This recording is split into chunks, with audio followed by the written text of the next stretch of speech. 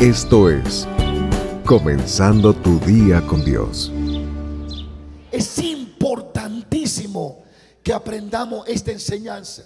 Salomón es nuestro primer ejemplo, pero hay muchos más como el rey Josafá, a su nombre.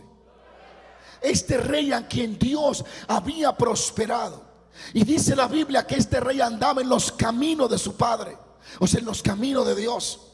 Y Dios estaba con él. Este es el rey que dio libra de los moabitas. Al que, al que Dios le dio una victoria tan grande que duró tres días recogiendo el oro. Y después de esa victoria, Josafat comete un pequeño error. Sigo paro. Sigo paro. Y es que se relacionó con un rey llamado Ococías. Ocosía, este rey, hijo de Acab, dice la Biblia que era un impío delante de Dios.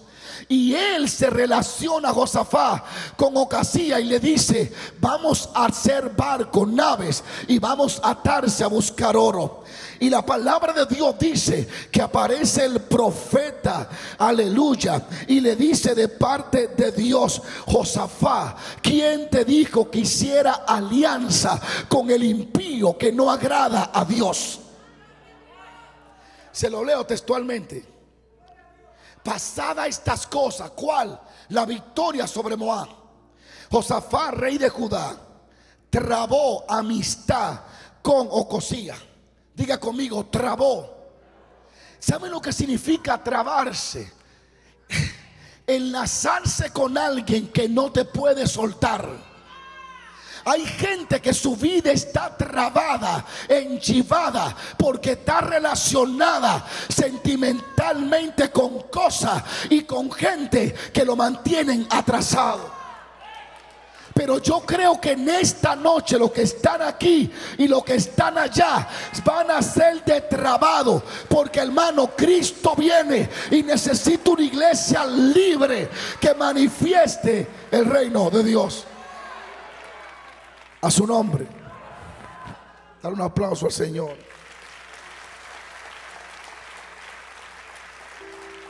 A su nombre.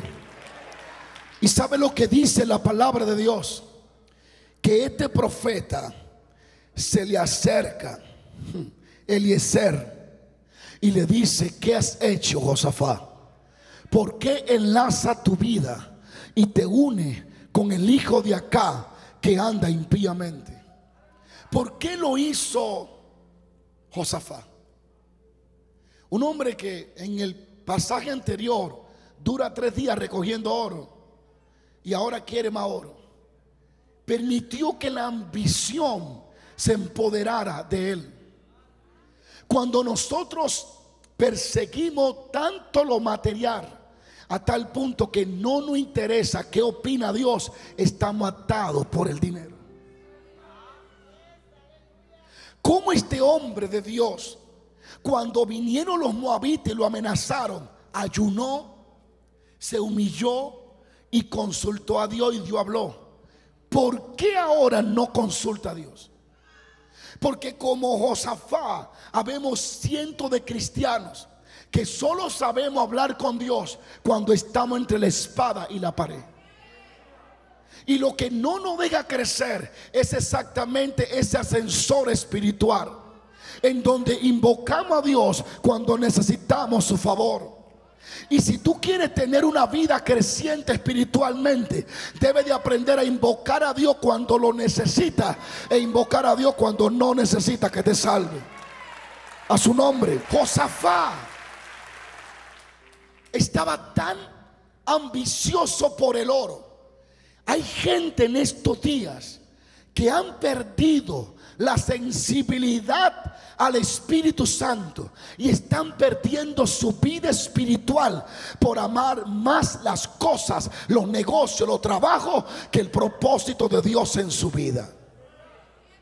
Nadie que ame el dinero tendrá una unción original y genuina.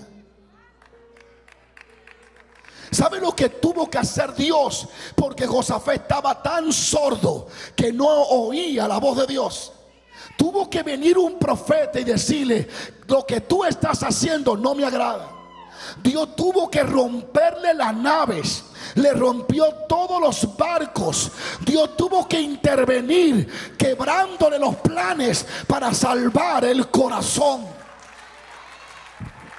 Por eso no te, no, no te apresure por orar por personas que están en un proceso. Pregúntale a Dios si fue que Él le metió el proceso para poderlo salvar.